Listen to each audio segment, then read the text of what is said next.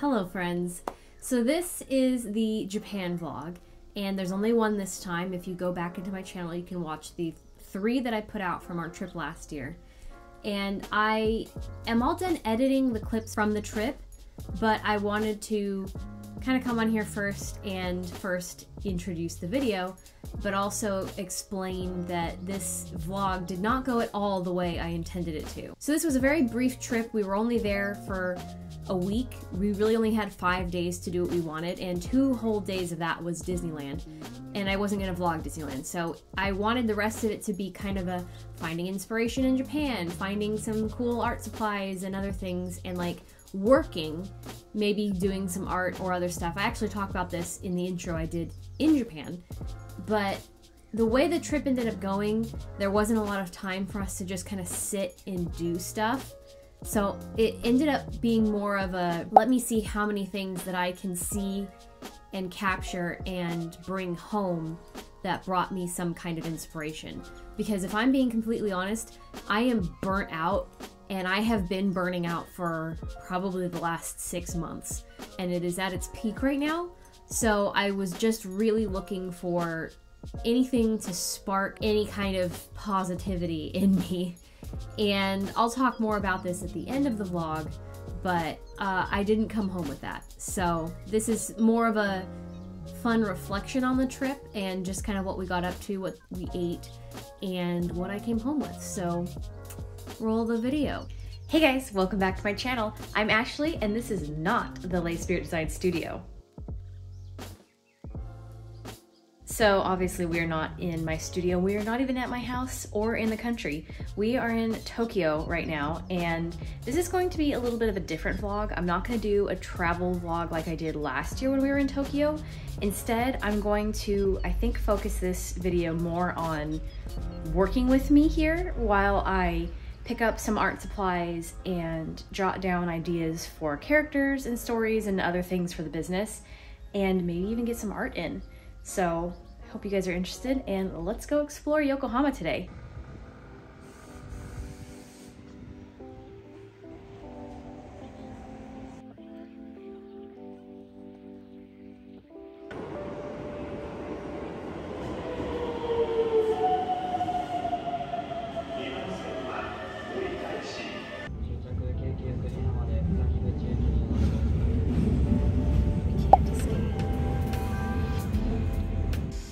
We come out to Yokohama, we always end up coming to the Landmark Tower Plaza, which is a shopping mall underneath the tallest building in Yokohama. Of course, there's lots of cute fall and Halloween stuff going on right now, and this little Halloween costume display was too cute. And we were actually looking for the Ghibli store that we always come to. It's our favorite one. It's just kind of tucked in there on, I think, the third or fourth floor. This one's just always cute and cozy and quiet, and it always has a very cute little seasonally themed window display. But this time, Ryan had some pens that he wanted to buy, and I was on the hunt for a small notebook that I could put in my purse for the trip. And we found some of these, and I had a really hard time choosing between all of the adorable designs.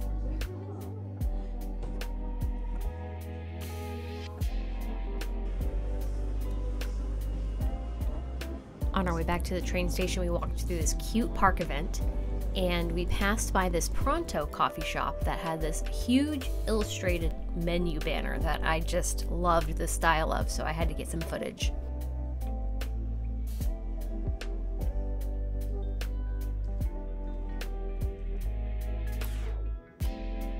And that was our cute first day in Japan, spent in Yokohama.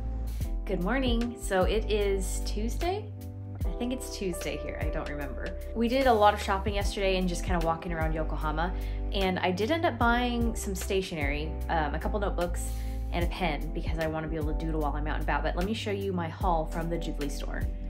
On our way back to our room last night, Ryan saw this little claw of pastry in the window of a bakery and had to have it, so we're gonna share it, even though it's almost too cute to eat. The people voted. The people did vote. It has to be eaten. So this was like probably one of the only purchases we did that wasn't food, which is good for the budget. Um, we may do some more damage today. And some of this is Ryan's, but You can show the people what I got.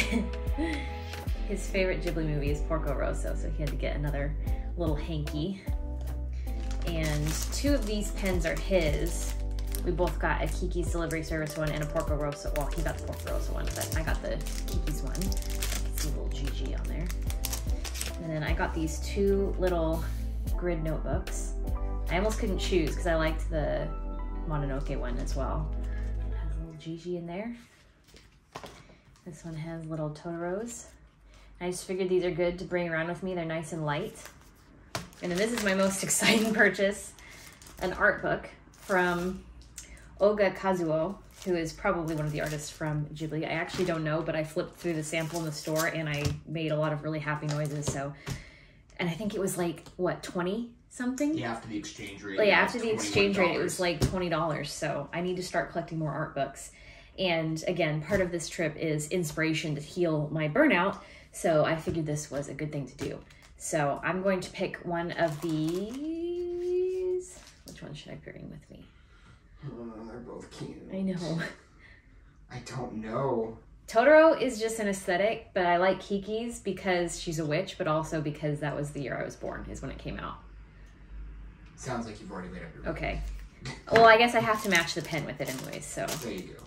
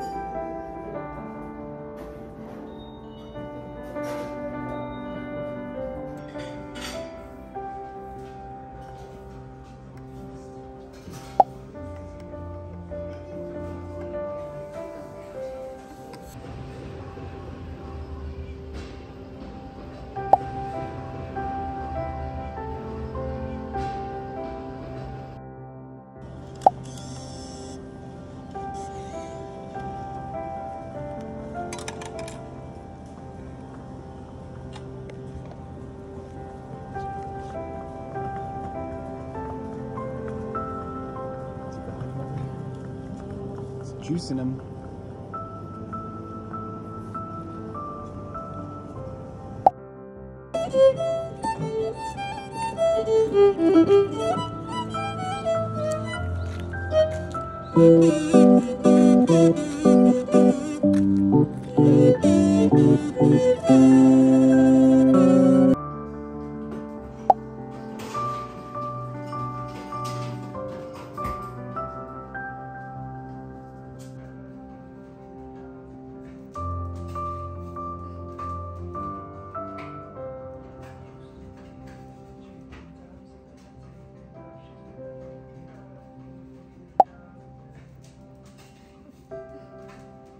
On Wednesday, we did Tokyo Disney Sea, and we got to see this adorable little welcome party of Duffy and friends, the adorable teddy bears.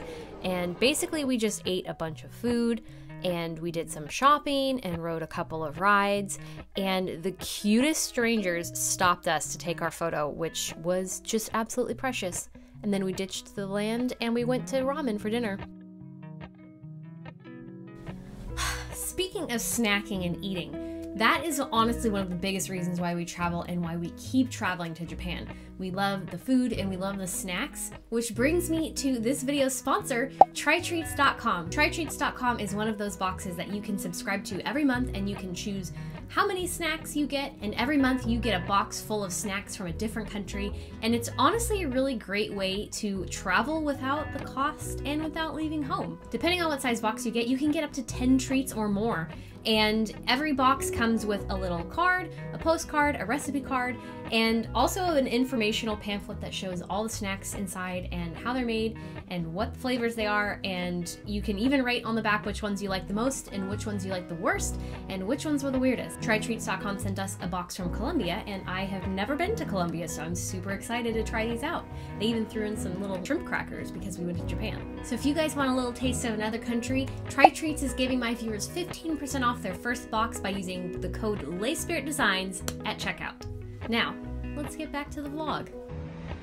We found this precious breakfast spot in our Airbnb's neighborhood and we had a very slow morning this morning and I finally got to break out my sketchbook and do some art. And I wanted to draw this cute pumpkin boy decoration that I saw in Disney Sea the day before and I didn't get a photo of because I thought we'd go back by, but we didn't. So I drew him from memory and I actually probably should draw him again. But this place was so cute, the theming was adorable, and our food was so good, and this was probably the best day I had for eating. We actually went back the next morning and had it again. Then we went out and did some more shopping. We tried to go back to Disneyland and ended up ditching it. So we did more secondhand shopping and had some very cute encounters with the locals. I got this very cute pickle bag.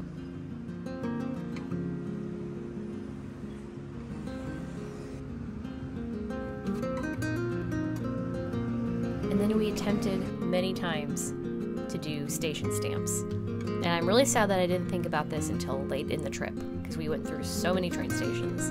But I wasn't very good at doing it anyways, and neither was Ryan, so we just have a small handful of very poorly stamped things in this book.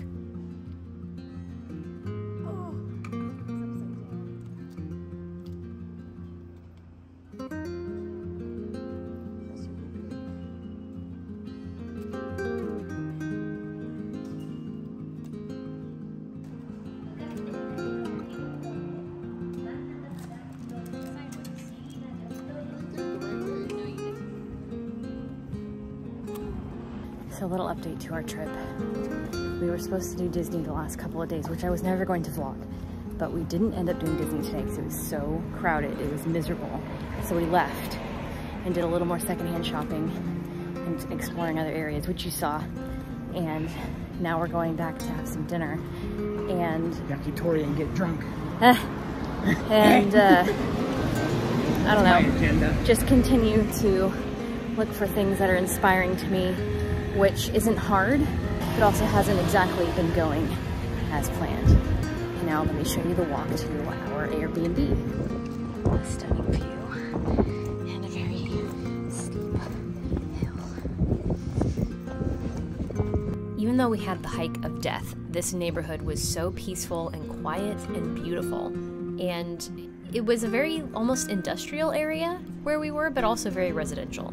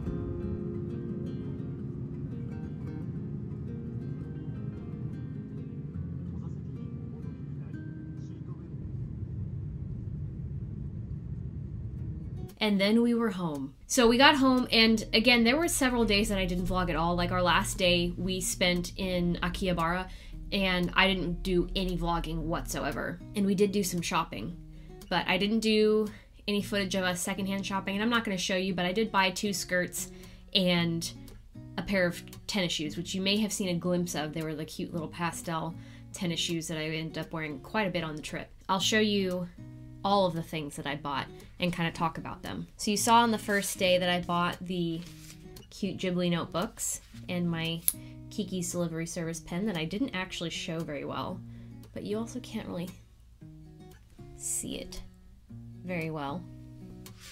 Um, and this is the one that I ended up using for the trip. And I really only doodled on that first page, and the rest was used for very poor attempts at collecting station stamps. So I actually am keeping this one in my purse just to have. It's nice to have a notebook. And then when we were on our second day, I ended up in that tiny, tiny, tiny stationery shop that Ryan couldn't fit in. And I got these pens. They're very cute little pastel pens. I haven't even used them yet, but the color on the clip here and the top, that's the color of the ink. And they're based on like sweets. So I got orange, peach, honey, and melon. And I just thought the packaging was so cute. And that whole store was so adorable. And I think I spent like $2 on these, two US dollars. And then while we were still there, that was in Koenji. This was in a box, but I couldn't I couldn't resist this tiny daisy cup. It's just so precious. And I even I deconstructed the box, but I kept the box too. I like to this is a very strange thing about me when we go to Japan is I always end up keeping like all of our receipts and like paper paraphernalia if it's not like food dirty because I like to put them in a box and then eventually make like a photo album of the trip and just it's very strange. So I deconstruct the box because it's also cute, but for pens, I had to reason with Ryan that this is for pens. And if you guys watched my studio makeover vlog, I didn't buy any knickknacks. I was not allowed. I wasn't I didn't do even a single gachapon machine. So also in our second day, we went to after Koenji, we went to Kichijoji, which is one of my very favorite places in Tokyo. And when we started flying with my newest carry-on, I wanted to start collecting stickers of places we've flown to. And I couldn't find a very good Tokyo sticker last year. So this time, and we see these guys mostly at the Pokemon centers, but B-Side Label is a very famous, I don't know if it's a artist collective or what, but they do stickers. So I wanted to get some stickers to put on my carry-on, and I did and I'll have to find a picture of it or something, but it was a very cute little train ticket sticker. And then they had, I had to get this one for the cash box, little Anya. And then there were some Halloween ones. Ryan got one too, but I don't know where his is. And then they had like some local limited stickers. So these ones say Kichijoji on them, so I had to get them. And they were very cute. So those will go in my sticker book. Also, my precious little CookieAnn keychain that I got from Disney Sea.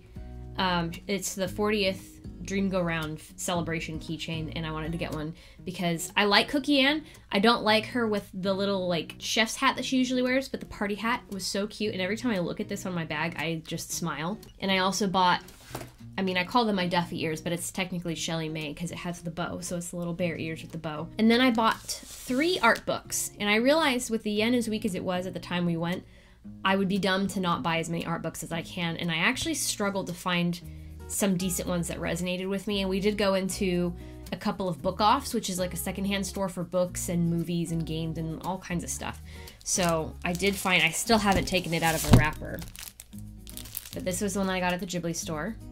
And there's lots of beautiful concept arts and paintings in here. And these are the two that I got from Book Off. I don't know what this is from, but the art was very pretty. And this one is, I guess, a paint with me book. And I actually opened it recently. I didn't even notice in the store. But it has on watercolor paper printed pencil sketches that you can practice painting on. So I just thought that was super fun.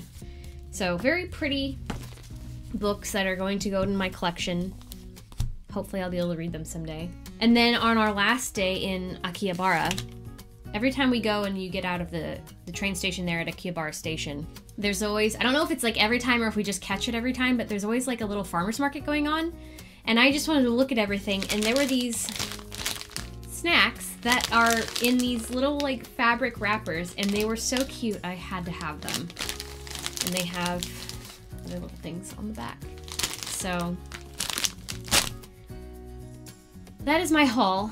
And like I showed you, I didn't do hardly any sketching. I took a lot of photos. I didn't post them all into the vlog. To be honest, as quick as the trip was, and we didn't get to do a lot of things that I wanted to do, and that was really only because I didn't have anything in mind. So we just kind of went as we went along and just did whatever we wanted to do. So, like, I didn't have a set agenda for this trip, which I usually do. And I think that also kind of made me feel a little bit listless about it. But with having to get over jet lag twice in such a small amount of time.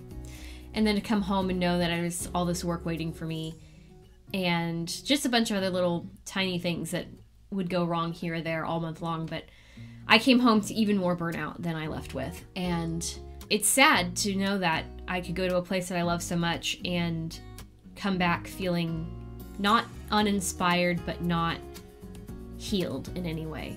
So I actually pulled the trigger on this, and let me know in the comments if you guys want me to include any of this in future vlogs, but I actually pulled the trigger on buying The Artist's Way by Julia Cameron, and I saw Tiffany on Apple Cheeks talking about this for months, and she did the whole 12 week program in the book and kind of did a little vlog series about it and it really seemed to help her. I'm at, I'm at my wits' end so much that I'm willing to try literally anything that's not what I've been doing, and I'm hoping that I can start this in the next week or so. So let me know in the comments if you are interested in seeing me work through this. It won't take over entire vlogs, but I would love to since I have two more conventions coming up and that's it for the rest of the year. Since I'm going to have all that time to kind of recharge before 2024, uh, I would love to dive into this. And if you want to see me kind of working through it in that in that space between the end of convention season for me and the new year, let me know in the comments. So, with that being said, I hope that you guys still enjoyed this vlog. I know it's always fun to see what other people get up to when they go to Japan, so like I love consuming Japan travel vlogs and I watch a lot of Japanese lifestyle vloggers myself. So hopefully this was still a fun and interesting video for you guys. And it was definitely a weird one to not only film but also to edit because it was completely unlike any of my other content that I've ever put out. So be sure to like and subscribe if you haven't already because it seriously helps the channel. And after this, I have to get my butt working on Con Crunch. I have two back-to-back -back cons, Anime Pasadena and Anime Expo Chibi. And after that, I will be doing my final event for the year, which is From Home, BizBaz at Home, an online free convention. So make sure you guys keep up with me to know when those are happening and where I'll be and where you can find me. So, with that being said, I hope you guys have a wonderful weekend, and I'll see you in the next one. Bye!